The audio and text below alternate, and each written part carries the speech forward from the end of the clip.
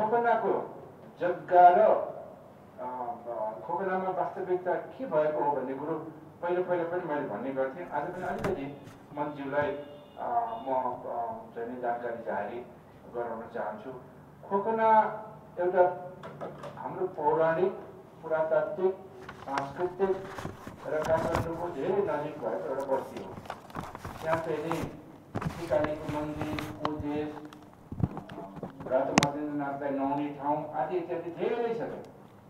र त्यहाँको संस्कृति असाध्यै महत्त्वपूर्ण संस्कृति छ त्यो ठाउँमा के भइदियो भने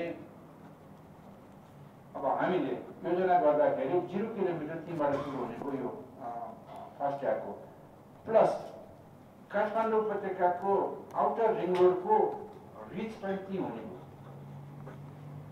प्लस अब कताबाट यो हाम्रो ठुलो ठुलो पाइलनहरू विद्युतको पनि ट्रान्समिसन लाइन छ त्यहीबाट जाने? हजुरको।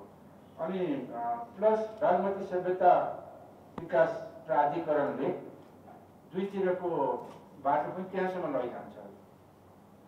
अनि त्यस्तै अरू अरू प्रोजेक्ट पनि धेरै त्यही ठाउँमा गएर कन्सन्ट्रेट हुँदाखेरि त्यहाँको स्थानीय साथीभाइ जनताहरूलाई अलिक इरिटेट भयो कि त्यहाँ बेसिकल्ली किसान समूहहरू धेरै छ त्यहाँको जग्गा चाहिँ नि यो त सबै जाने भयो भन्ने उहाँहरूलाई ठुलो पिर भयो काठमाडौँको पनि पहिला खोकना भने तोरी धेरै हुने ठाउँ र तेल पेल्ने ठाउँहरू परपर कालदेखि उहाँहरूको त्यो प्रख्यात भएको ठाउँ हो त्यस कारणले त्यहाँको जनताहरू तर्सेको कारण चाहिँ यो पनि हो हामीले बुझाउन पनि सकेनौँ र सबै प्रोजेक्ट गरेर त्यहाँ मिसिँदाखेरि चाहिँ नि उहाँहरू आत्तिनु स्वाभाविक हो जस्तो लाग्छ मलाई।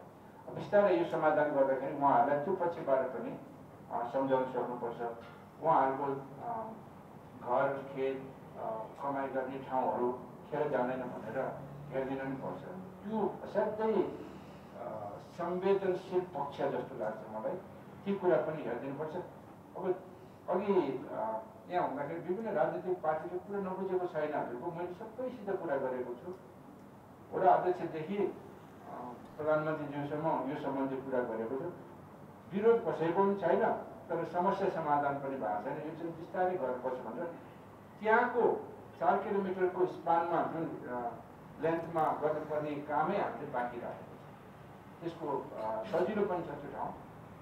र योजनालाई अलिकति बढी खर्च गराएर दुईवटा पुल बागमतीमा घुमाएर लगाएर पनि उहाँहरूको जग्गा कम गर्ने गरेर पनि योजना बनाइसकेको छ। जुन उहाँहरूलाई ब्रिफिङ गरे गरिसकेका छौँ र उहाँहरूले अलिकति बढी यसलाई मान्न पनि थाल्नु भएको छ हजुरको त्यस्तो विधि विरोध छैन तर ल लैजानुहोस् भनेको पनि हुनुहुन्न एट्टी पर्सेन्ट जतिले पैसा बुझिसक्नु भएको छ ट्वेन्टी पर्सेन्ट जति स्थानीय साथीभाइहरूले चाहिँ नि जग्गाको मुआवजा बुझ्नु भएको छैन। समस्या त्यहीँ गएर अड्केको छ।